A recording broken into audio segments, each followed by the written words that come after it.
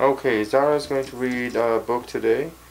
One is A Feast for Mouse, a Thanksgiving tale. Hi Zara, how are you? Good. You see the here? Mm-hmm. Yeah, in the bush. Yep, read it.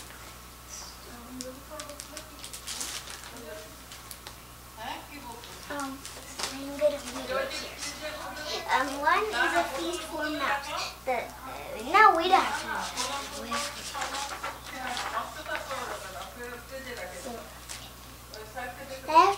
Thanksgiving dinner, Mouse crept out of his hiding hole and looked around. The house was quiet. Dad snoozed in his chair with his book.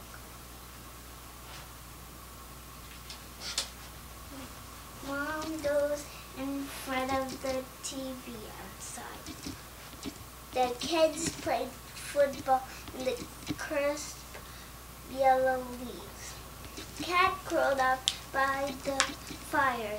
He yawned and stretched his stripy tail and then closed his grainy eyes and went to sleep.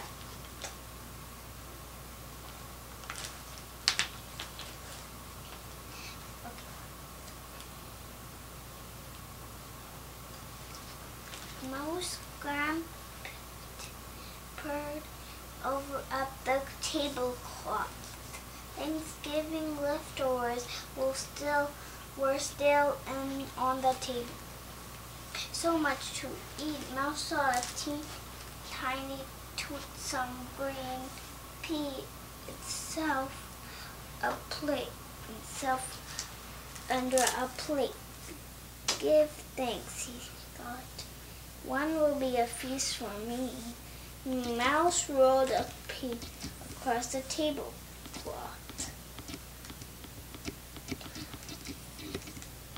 Um, t- table.